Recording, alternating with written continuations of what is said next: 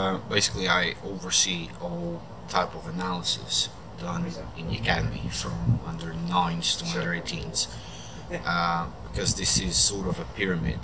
Um, of course, the under 18s will receive a little bit more in-depth uh, analysis, so that goes from training sessions, matches, individual players development.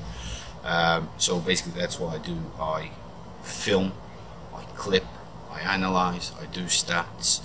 Um, I help with trial lists, so it's a little bit of a scouting uh, section there. Even though that I don't work with the scouting department, but I help them out to get enough evidence to make it easy for their jobs. Uh, I have um, a close relationship with the coaches because it's quite important not only to know the players but the, their philosophy and how they like to get the things done. Um, but mainly that's it. A lot of time in front of the laptop or behind the camera.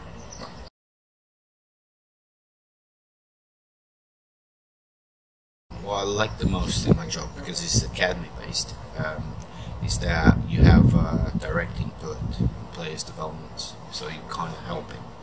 Um, I'm talking about kids that might be aspiring to be a footballer or just having a good experience. Um, but regardless, uh, what we try to form is uh, players that no matter what they do, when they finish their time with us, they're going to be better persons in the future. So, in my job as an analyst, uh, I try to put a little bit of the, let's say, the specific details of the job.